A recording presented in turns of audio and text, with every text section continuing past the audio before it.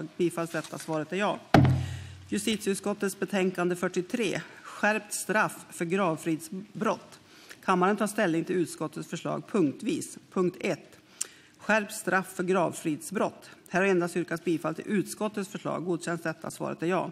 Punkt 2. Straffskalan för grovt gravfridsbrott. Här har yrkats bifall dels till utskottets förslag, dels till reservation 1 av Fredrik Lundh Sammeli med flera, SC. Bifalls utskottet. Reservation 1. Kammaren bifaller utskottet, men Gustav Lantz begär votering. Fastställande av voteringsproposition.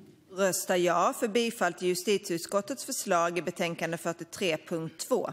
Röstar nej för bifall till reservation 1 av Fredrik Lundh Sammeli med flera, SC. Godkänns voteringspropositionen? Svaret är ja. Klart för votering. Ja för utskottet, nej för reservation 1. Är voteringen avslutad? Svaret är ja. 179 ja, 111 nej. Kammaren har bifallit utskottets förslag. Punkt 3. Försvårande av utredning som kvalifikationsgrund för grovt brott. Här yrkas bifall dels till utskottets förslag, dels till reservation 2 av Fredrik Lundh Sammeli med flera, SCV. Bifalls utskottet reservation 2. Kammaren bifaller utskottet, men Gustav Lantz begär votering. Fastställande av voteringsproposition. Röstar ja för bifall till utskottets förslag i punkt 3. Röstar nej för bifall till reservation 2 av Fredrik Lundh Sammeli med flera, SCV.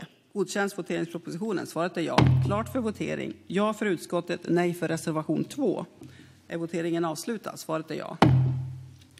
158 ja, 132 nej. Kammaren har bifallit utskottets förslag. Punkt 4. Upprepad brottslighet som kvalifikationsgrund för grovt brott. Här yrkas bifall dels till utskottets förslag, dels till reservation 3 av Andreas Karlsson med flera, MKD. Bifalls utskottet reservation 3. Kammaren bifaller utskottet, men Ingemar Kihlström begär votering. Fastställande av voteringsproposition. Röstar ja för bifall till utskottets förslag i punkt 4. Röstar nej för bifall till reservation 3 av Andreas Karlsson med flera, MKD. Godkänns voteringspropositionen? Svaret är ja. Klart för votering. Ja för utskottet, nej för reservation 3. Är voteringen avslutad? Svaret är ja.